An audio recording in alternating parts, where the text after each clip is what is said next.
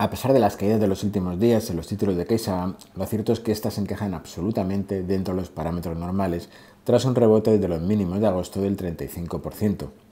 De hecho, de nuevo le tenemos a las puertas de la primera zona de soporte de corto plazo, la directriz alcista, que pasa por los aproximadamente 2,45-2,50 euros. Pero lo que debemos saber es que, aun cuando este pudiera corregir hasta la zona de los aproximadamente 2,30 euros, aquí no habría pasado nada. Este nivel se corresponde con la antigua directriz bajista que durante mucho tiempo actuó como resistencia y ahora podría ser puesta a prueba como soporte. O lo que es lo mismo, cabe la posibilidad de que los próximos días semanas el precio trate de testar de nuevo dicha zona de control. Por arriba, por el lado de las resistencias, tenemos los máximos de este mes en los 2,67 y de mayor relevancia todavía, el imponente hueco bajista de los 3,20 euros.